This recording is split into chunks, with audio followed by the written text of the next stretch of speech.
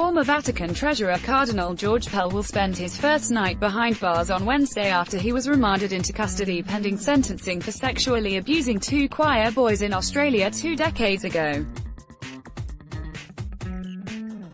Pell, a former top advisor to Pope Francis and the most senior Catholic cleric to be convicted for child sex offences, was found guilty in December of five charges related to the abuse of the 13-year-old boys while he was Archbishop of Melbourne in the 1990s.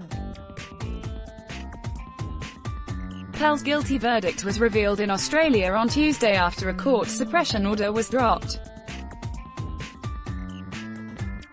The 77-year-old Pell was back in court on Wednesday for his sentence plea hearing, where his bail was revoked and he was taken into custody ahead of his final sentence being determined. Pell will be sentenced on March 13. Each of the five offences of which Pell was found guilty carries a maximum 10 years imprisonment, and the judge outlined they were serious charges. This offending warrants immediate imprisonment, prosecutor Mark Gibson told a packed courtroom, which was crowded to overflowing with journalists, lawyers and members of the public. It involved two vulnerable boys. Two victim impact statements were tendered in the hearing, one from the victim who testified in Pell's trial and one from the father of the other victim who died in 2014, but they were not made public. Lawyers representing Pell argued for a lenient sentence, presenting Judge Peter Kidd with 10 character references, including one from former Prime Minister John Howard. Robert Richter, a lawyer representing Pell, tried to argue that Pell's offences were at the low end of the scale, at one point saying it was no more than a plain vanilla sexual penetration case, where the child did not willingly take part, an argument quickly dismissed by the judge. During the trial one victim described how Pell had exposed himself to them, fondled their genitals and masturbated and forced one boy to perform a sex act on him. I see this as a serious example of this kind of offending, Kidd told the Melbourne County Court.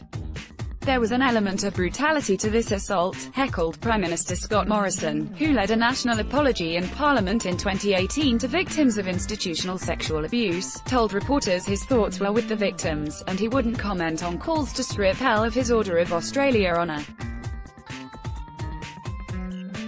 We do have the law in this country and that law requires a process now to be followed, so I don't intend to engage in that other than to say to all of you who have been victims of child sexual abuse, know that we're thinking of you. Pell was heckled as he arrived at court and sat in the dock flanked by police officers.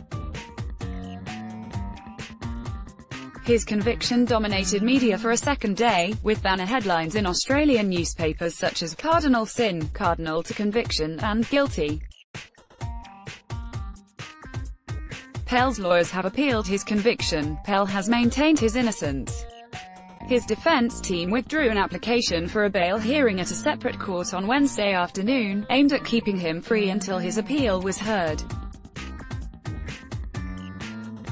The conviction of such a senior Vatican official has brought the Catholic Church's growing sexual abuse crisis, which has also seen scandals in the United States, Chile and Germany, to the heart of the papal administration. Church future unclear on Tuesday, Vatican spokesman Alessandro Gisotti told reporters the conviction was painful, for many but that the cardinal had proclaimed his innocence and had the right to defend himself until last level of judicial process. Gisotti also said Pell's five-year term as Vatican economy minister had expired on February 24, and later tweeted that he was no longer the prefect of the Secretariat for the Economy. The Pope ended a conference on sexual abuse on Sunday, calling for an all-out battle against a crime that should be erased from the face of the earth. Pell's future in the Catholic Church remains unclear while his appeal plays out. Former U.S. Cardinal Theodore McCarrick was expelled from the priesthood after he was found guilty of sexual crimes against minors and adults, the Vatican said in February. The 88-year-old became the first Roman Catholic prelate in nearly 100 years to lose the title of cardinal last July and is the highest-profile church figure to be dismissed from the priesthood in modern times.